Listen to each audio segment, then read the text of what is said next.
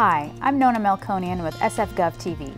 I'm here to discuss Proposition B, a ballot measure which will be before the voters on Tuesday, November 5th. Propositions B and C both concern a proposed development site called 8 Washington Street. Prop B is an initiative and Prop C is a referendum. An initiative is a proposition placed on the ballot by voters. A referendum is the process by which voters can approve or reject legislation enacted by the Board of Supervisors. 8 Washington Street is a site proposed for development and is 3.2 acres bound by the Embarcadero, Washington Street, and Drumm Street. In 2012, the Board of Supervisors approved a development project for this site involving construction of two mixed use buildings containing 134 residential units, ground floor retail space, a privately operated fitness and swim facility, a public park and open spaces, and underground public and private parking. In approving the project, the board also adopted an ordinance to increase the legal building height limits on a portion of the project. The Prop C referendum requires that this ordinance be submitted to the voters for approval or rejection. The ordinance will not take effect unless a majority of voters vote in favor of it. If you vote yes on Proposition C, you want the ordinance passed by the Board of Supervisors, which increases legal building height limits along Drumm Street, to take effect. If you vote no, you do not want the ordinance passed by the supervisors, which increases legal building height limits along Drumm Street, to take effect. Prop B, which also concerns the 8 Washington site, qualified for the ballot after Prop C.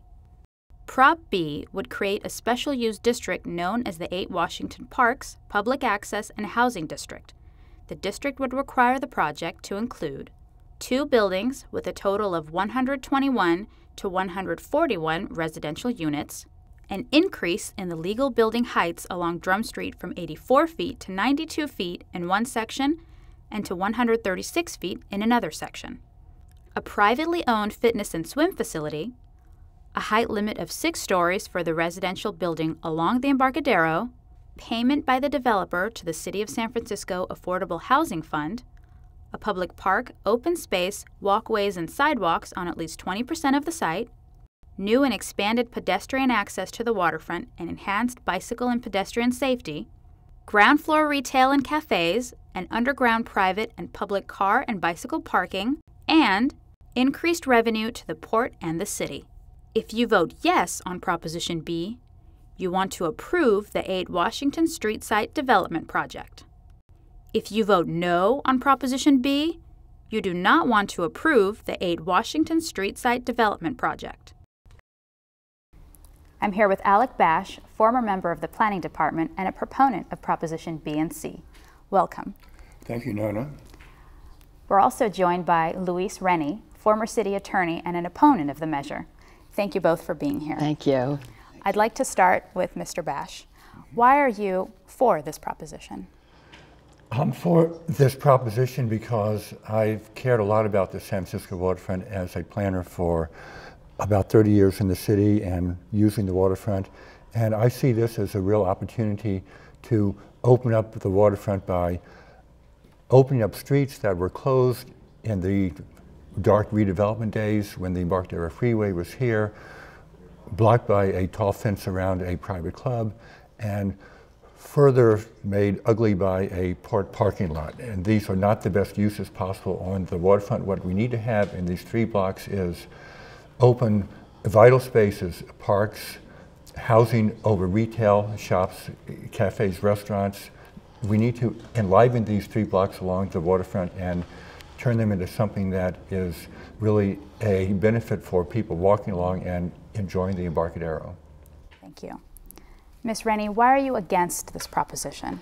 Well, we are urging a no vote on both Proposition B and C because, number one, it changes the height all along this parcel of the waterfront to almost double the size of the freeway that was torn down.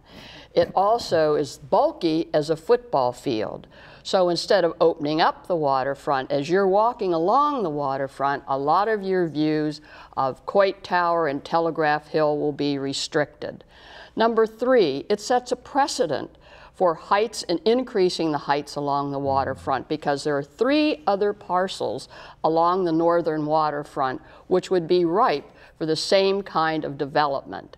It destroys a tennis and club that's been used by thousands of San Franciscans for years, and as importantly, it's being built too close to a sewer line with great risk to the sewer pipe that serves a quarter of the city. Height, bulk, sewer risk, precedent. And then to top it all off in Proposition B, which was written by the developer, the developer gets special rules to approve his project. If that isn't enough for people to vote no on B and C, I think it is. Thank you. Mr. Bash, it seems there's been some confusion between voters regarding Prop B and C. Why was Proposition B added later when Prop C is asking for the approval of 8 Washington? Proposition C only asks for approval of the height limits. It says nothing about the project itself, and we thought that it was critical that the voters be able to see what the whole project was with all of the benefits it brings to the waterfront. As to the heights, only a small fraction of the site has a higher height limit. Most of it, 85%, is much lower than the heights that are uh, that have been allowed on the waterfront. And in fact, uh, as you look at the model, you can see that the project is really very modest in its heights in comparison with the tall buildings around it, which are twice and four times as large. The only special procedures that have been put in place for this project, because this is the same project that the Board of Supervisors approved, is to have a special administrative clearance which adds a level of review to ensure that whatever planning reviews is the same as what the voters have approved. So that's why we are urging yes on both B and C. Okay, thank you. I think the real answer to that question is number one, if the developer addressed the sole question of whether or not people want to increase height limits almost double the size of the freeway, the vote would clearly be no. And in a referendum, which the citizens, 30,000 citizens, put on the ballot, that is the only question they can really put in. The reason they put on Proposition B was a way to get around having to address the height limits itself, although B does have that in there. But did they address, even in their title, the height or the bulk of the building along the waterfront? No. Instead, they called it Parks, Housing Initiative, Access to the, free, to the Embarcadero.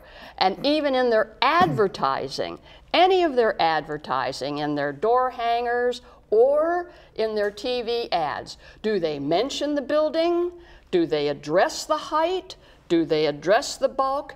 No. Instead, they try to address other issues, which I am happy to explain are red herrings. Thank you. Mr. Bash, would you like to respond?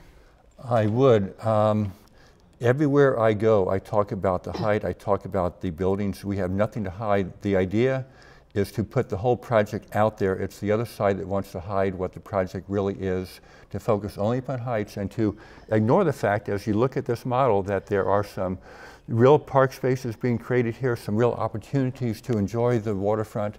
And talking about red herrings, uh, what, uh, what Louise Renne mentioned about these sewer, that is a redundant sewer system that the city is adding. The project sponsor is helping by providing an easement for it. They are going to work closely with the engineers at the PU, Public Utilities Commission of the city, which has already by unanimous vote uh, indicated their approval of going forward with the plans that there are now. So uh, talking about red herrings and misleading campaigns, Remember the comment, where's the beef? Well, I have to say, where's the wall? Where's the wall on the waterfront that the adversaries talk about? The Embarcadero Freeway, they put out a flyer that shows the Embarcadero Freeway half the height of the 70 foot building, the six story building along the waterfront, whereas in fact, from the image that they have, it should be looking much higher. They have been very misleading in all of their campaign literature. They talk about height alone and they ignore all the benefits on the waterfront. Thank you. Ms. Renne, would you like to respond to Well, Mr. we have only comments? used the developer's own drawings to depict the building.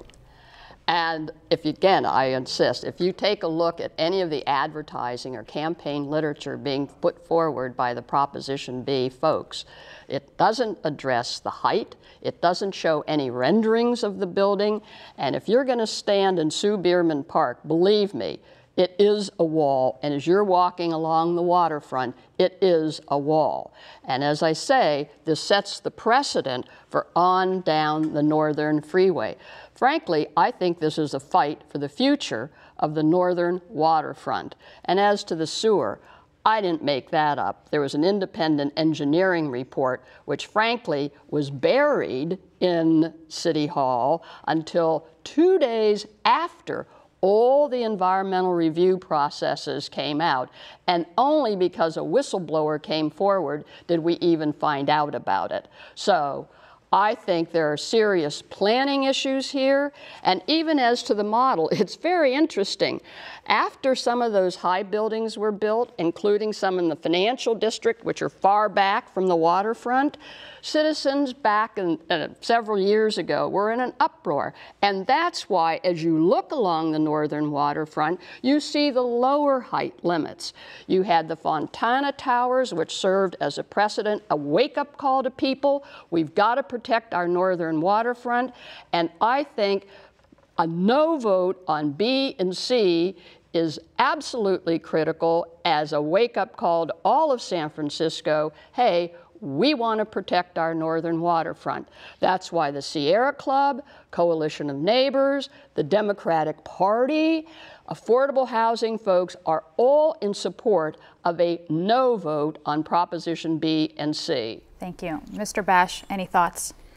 Yeah, there's a lot of support for Proposition B and C from, from Spur, Smart Planning, Labor, um, several other Democratic clubs. Uh, uh, th there are a huge number of people want to improve the waterfront and are not afraid of the scare tactics, scare tactics that are being used. Trying to compare this with the Fontana Towers is absurd. This is right at the edge of downtown. And the reason that the planning department first suggested having higher heights on this site is because of the proximity of the tall buildings nearby. All the other port properties on the waterfront have low buildings nearby. They have got 40 foot height limits. The city's general plan calls for 40 feet on all those other properties. Planning department calls for 40 feet. The idea that this is going to set any precedent is a scare tactic, and I'm surprised that opponents are stooping to that. They're saying no wall on the waterfront and trying to compare it with the Embarcadero Freeway. What you see is what you get if you look at the model. You can see the benefits it offers to people San Francisco. Ms. Renne, you're shaking your head. Well, look, we're talking about 134 luxury condos on the waterfront. There's a lot of money involved here, and only a few people that are going to be able to live in those condos.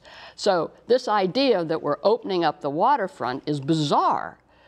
And consequently, it does set a, a, a precedent. That's why, too, they'll say, oh, we're going to bring parks. Well, guess what? You know what their new parks are? There's an open space at the corner. They're going to add a little more space, like the size of a tennis court. That's their new parks. And so, this idea that somehow or other this initiative is about parks or housing, it's certainly not affordable housing. Yes, by law, they're required to put in $11 million for affordable housing elsewhere, but it's not about housing, it's only rich people's housing. And number three, opening up the waterfront, what they're doing, there's already a little curlicue path. What they're doing is just kind of moving this over and straightening it out. So our argument is actually this is not opening up the waterfront. Certainly for the public walking along the, the Embarcadero, it is restricting the waterfront. Thank you both very much for your time. Do you have any final thoughts? We have about a minute. Mr. Yeah, Bash. Um, the project does make an $11 million contribution to the Affordable Housing Fund. That's more than the city would normally ask for. That is equivalent to 34 units coming, affordable units coming out of the 134 market rate units. Uh, this is a real opportunity for the city and the park spaces that are being added, 30,000 square feet, which is the size of about 12 city lots. It's three times the size of the Noe Valley Town Square that people have worked so hard for. All right, thank you. Ms. Renne. This fight is really about the future of the northern waterfront. Do we want to have a northern waterfront that is open and available for people? The answer we think is yes, but vote no on B and C. If you really want to protect the northern waterfront, please vote no on B and C. Otherwise, we're going to have high rises that are not in keeping with the spirit of San Francisco. Okay, thank you both for your comments. Unfortunately, we're out of time. We hope that this discussion was informative. For more information on this and other ballot measures in this year's election, please visit San Francisco Election Department's website at sfelections.org. Remember, early voting is available at City Hall Monday through Friday from 8 a.m. to 5 p.m. And if you don't vote early, be sure to vote on November 5th.